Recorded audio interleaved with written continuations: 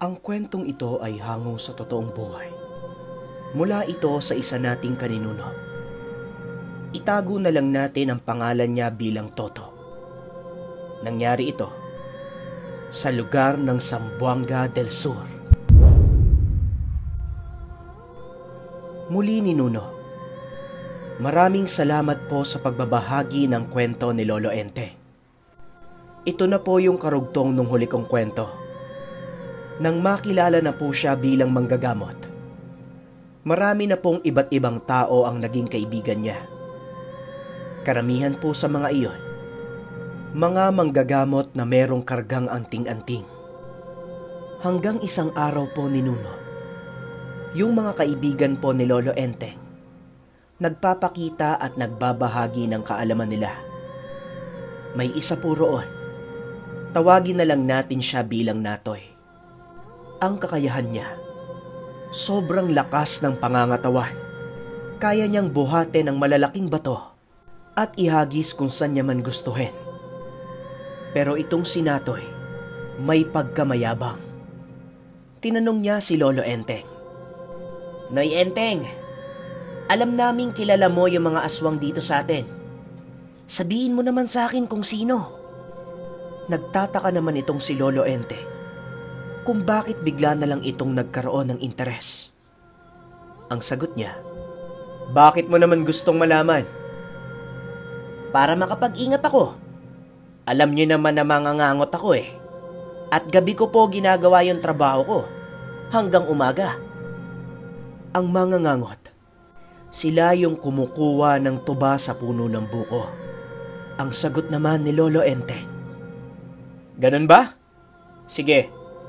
Yung malapit sa inyo, yung matanda na babae doon, si Manang Claudia, mag-iingat ka doon. Ganun po ba?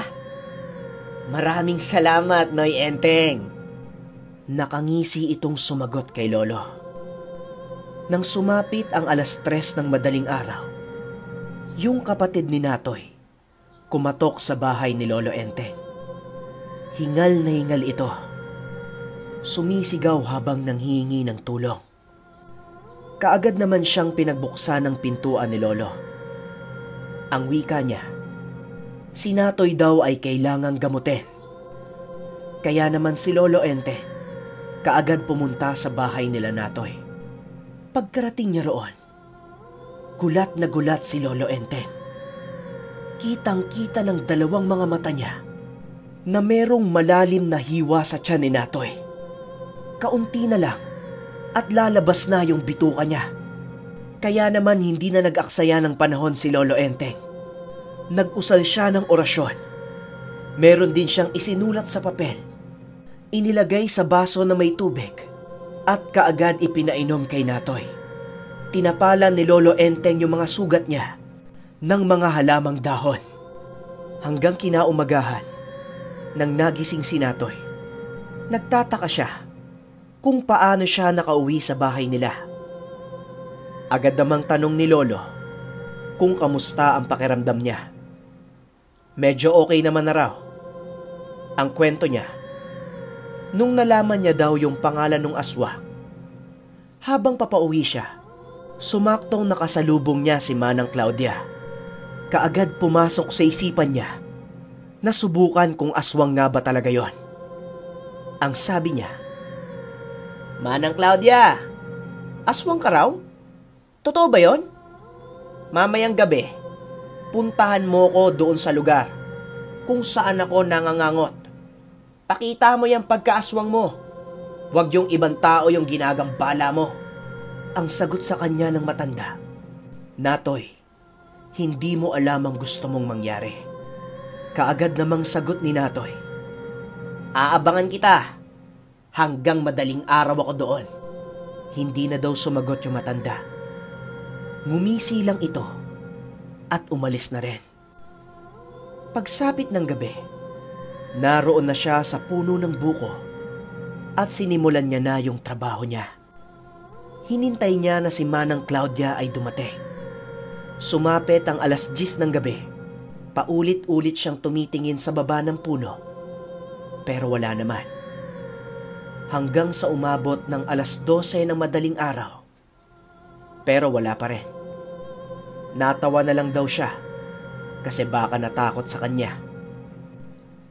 Pero maya-maya pa, nang sumapit ang alauna ng madaling araw, nakaamoy siya ng sobrang baho. Napakalansa nung amoy. Pagtingin niya sa baba ng puno, merong isang matandang babae na buhaghagang buhok. Ang sabi ni Natoy, Maayo ing abot ka. Ganiya pa ako nagulat. Sa Tagalog, Mabuti nandito ka na. Kanina pa ako naghihintay. Bumaba daw si Natoy. Ang sabi niya, Nang Claudia, tapusin natin agad to. Marami pa akong gagawin eh. Kasunod nun, bigla daw umangil yung aswang. Mabilis itong lumapit sa kanya. At dahil merong karga itong si Toto, nahawakan niya yung aswang at binalibag. Tumalsik ito sa puno ng sagingan. Manang! Ayos ka lang? Mabilis daw tumayo yung aswang at lumusob uli sa kanya. Pero ganun pa rin, nahawakan siya ni Natoy at ibinalibag sa puno. Manang! Ano na? Ang dyan lang ba yung kaya mo? Mas nagalit daw yung aswang sa pangaasar ni Natoy. Umangil pa ito ng napakalakas. Mas mabilis itong lumusob. At nang mahawakan ni Natoy, bumibuelo siya at iahagis niya. Meron daw itong ibinuga na sobrang baho. Galing ito sa bibig niya. Dahil dito, nabitawan ni Nato yung aswang. Hindi niya alam kung ano yung ibinuga sa kanya. Pero unti-unti daw siyang nanghina hanggang sa nawala ng malay. Ang sabi naman ng kapatid niya, hindi daw siya mapakali sa bahay ng mga oras na yon. Parang nakakaramdam siya na merong masamang mangyayari.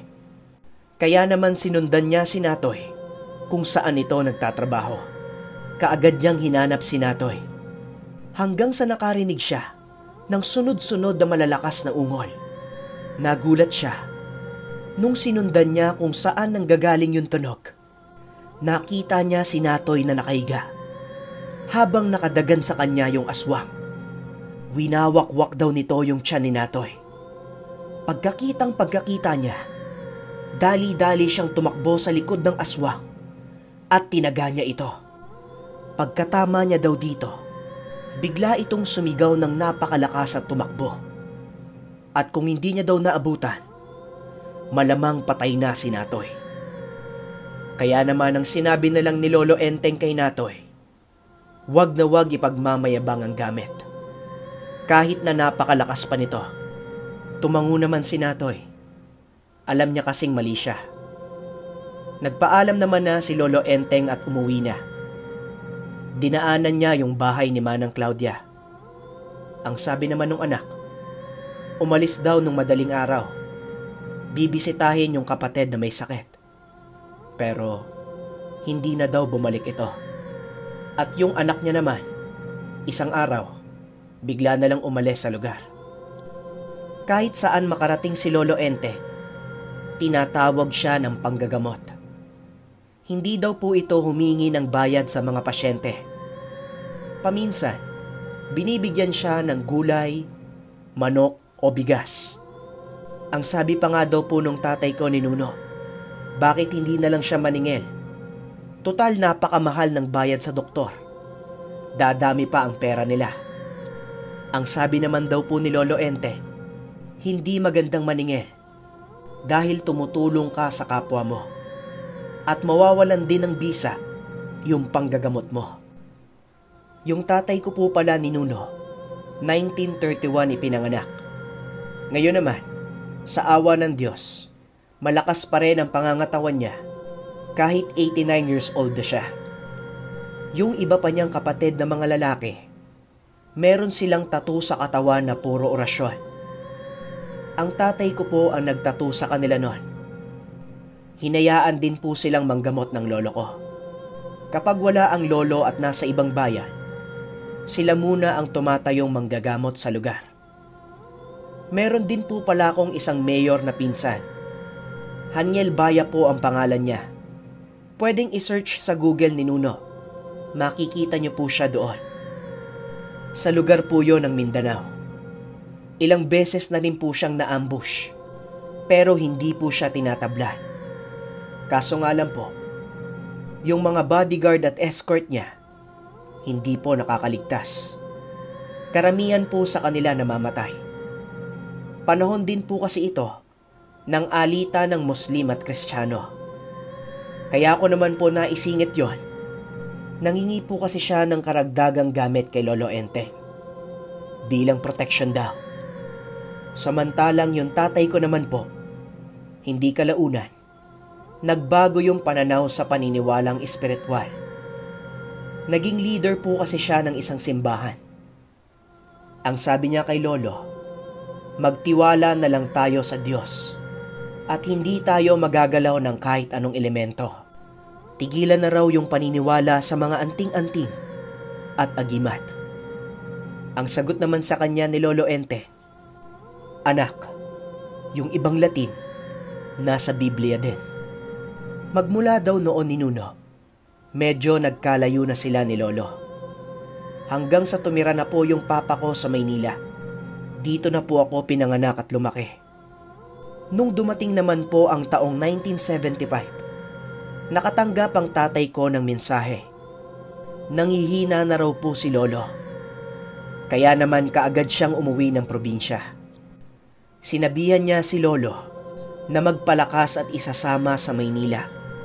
Pero ang dagdag pang sinabi ng tatay ko, kung gusto mo nang magpahinga, ibigay mo na sa akin yan para makapagpahinga ka na. Alam kasi ni Papa na kaya mahaba ang buhay ng lolo dahil sa karga nito. Pero ngumiti lang daw sa kanya si lolo. Alam kasi nito na hindi na siya naniniwala sa agimat o anting-anting. Makalipas ang ilang araw, lumakas ang matanda. Tinanong niya kung kailan siya isasama sa Maynila. Ang sabi naman ng tatay ko, sa pagbalik ko tay isasama kita.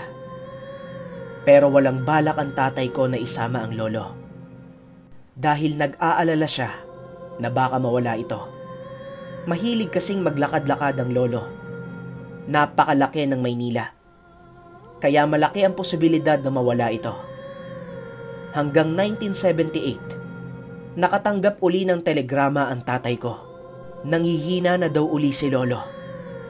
Inisip niya, tulad lang din ng dati yon. Lalakas din naman uli.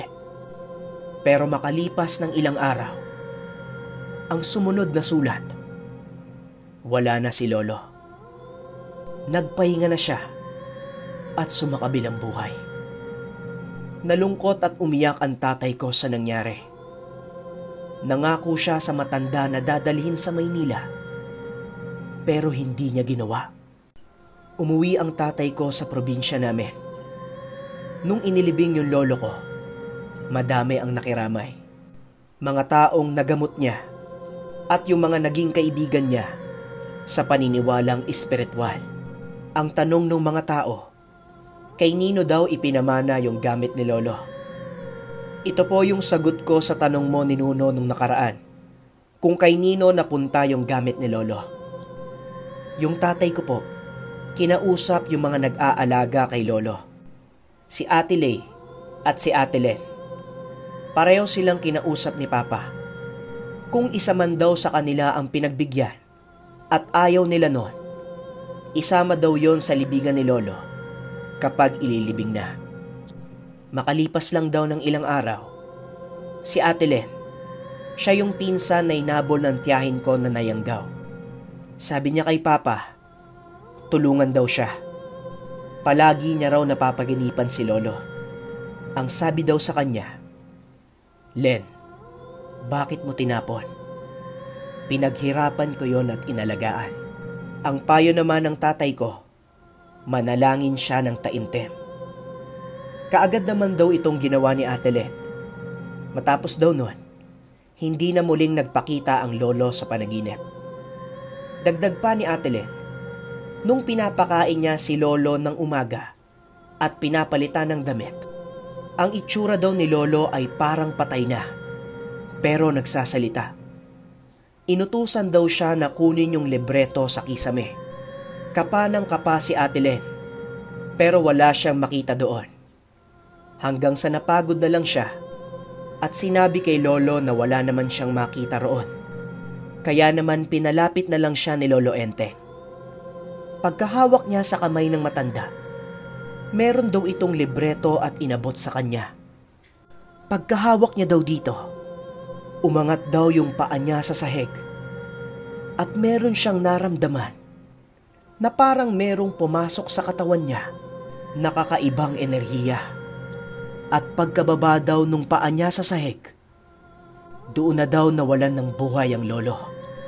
Takang-taka si Ate Len kasi siya ang nag-aalaga kay lolo. Siya ang nagpapakain at nagpapalit ng damit. Pero ni minsan, hindi niya daw nakita yung libreto na yon. Ang ginawa ni Ate Len, isinama niya yon sa huling hantungan ni Lolo, kasabay ng paghagis niya ng bulaklak. Yung tatay ko naman po ni Nuno, kahit inayawan niya yung mga orasyon, hindi pa din daw ito nawawala sa kanya. Dahil nakatatu ito sa mga balat niya. Sa harap, sa likod, maging sa hita. Naroon lang yon at karamihan po sa nakasulat doon ay mga buhay na salita. Dagdag ko lang po ni Nuno. Taong 1990, nakatira kami sa Luzon Avenue. Yung tinitirhan naming bahay, yung katabi po nun, palagi akong nakakarinig ng malakas na palaspas. Sabi po ng mga tao doon, meron daw nakatira na wakwak. Kaagad ko naman pong sinabi ito sa tatay ko ang sabi niya lang, hayaan lang namin yon. Ang sabi ko naman po, wakwak po yun oh. Hindi naman po sumagot ang tatay ko. Pero isang araw, narinig namin uli yon. Pero sa pagkakataong ito, kasabay noon ang isang malakas na kalampag sa bubong namin. Nagulat ako kasi biglang tumawa yung tatay ko. Ang sabi niya, Aba, gumagana pa. Pero ngayon po ni Nuno, nung tinanong ko siya, hindi niya na daw maalala yung mga Latin na inaral niya noon. Ang natira na lang daw, yung Our Father sa wikang Latin. Agad ko namang tanong sa kanya, Akala ko ayaw mo na. Kala ko hindi ka na naniniwala. Hindi na ito sumagot sa akin. At ngumiti na lang. Maraming maraming salamat po sa pagbabahagi ng aking kwento ni Nuno. Hanggang dito na lang po muna. Lubos na gumagala. Toto.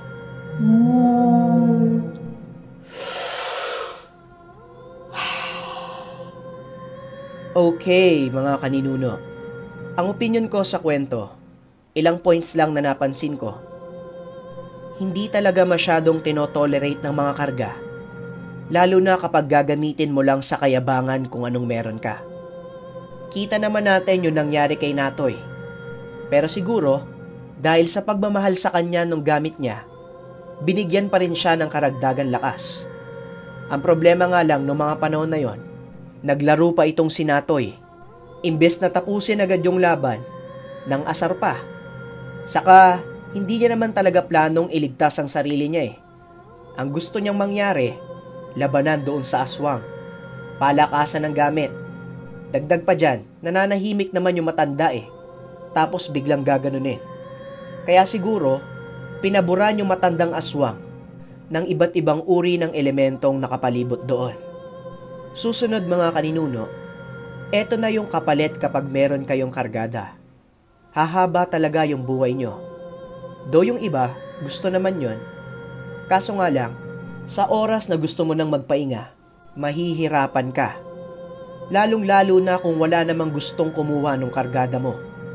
Hindi din kasi pwedeng basta-basta mo na lang iwan yun eh. Mahabang panahon ang pinagsamahan mo ng bitbit mong karagdagang lakas. Kaya naman mabigat din sa pakiramdam mo kapag mawawala na lang ito bigla. Pinaghirapan mo yun eh. Pinaghirapan mong kunin. Kasabay nun, hindi din naman ganun kadali pumili ng pagbibigyan. Kahit gusto nung taong pagbibigyan mo, kailangan mo pa rin tignan yung katangian ng isang tao. Kung karapat dapat ba siyang pagkatiwalaan ng kapangyarihan mo. Sa sitwasyon ni Lolo Enteng, wala naman siyang ibang inalagaan at naging close, kundi yung tatay ni Toto. Kaso nga lang, biglang nag-iba yung panahon. Hindi na ito naniwala. Siguro matagal na panahon inantay ni Lolo Enteng na baka sakaling magbalik loob sa kanya yung anak niya. Kaso nga lang, hindi talaga eh. Kaya naman, dahil siguro sa kapaguran ng matanda, binitawan niya na lang yung gamit niya. Medyo nalungkot lang ako sa dulong part lalo na no nag-part way na sila ni Lolo Enteng. Nasayangan ako sa bonding ng pamilya. Kaso ganun talaga mga kaninuno eh. Merong mga pagkakataon sa buhay natin na hindi natin inaasahan. Kaya naman para sa akin, enjoyin lang natin lahat ng pagkakataon habang nariyan pa yung mga mahal natin sa buhay. Yun lamang. Maraming maraming salamat sa pagbabahagi ng storya. Para naman sa gustong magbahagi ng kwento, nariyan po sa description box ang aking Gmail account. Nariyan din po ang aking Instagram at FB page. Maraming salamat po. Lagi lamang nating tandaan, ang masyadong paniniwala sa supernatural ay ginagawa tayong ignorante. Ngunit ang masyadong pagdepende sa siyensya at loika ay ginagawa tayong arugante. Hanggang sa muli. Bye!